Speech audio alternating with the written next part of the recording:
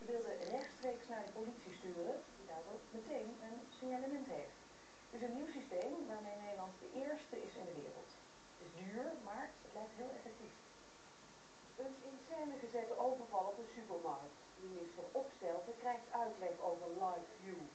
Op het moment dat een winkelier op de overvalknop drukt, worden de bewakingsbeelden meteen doorgezet naar de meldkamer van de politie.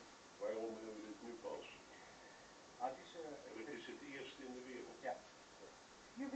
In Amsterdam. De zaak werd de afgelopen jaren acht keer overvallen. Daarom deden ze mee aan een proef met live view. Hoeveel daden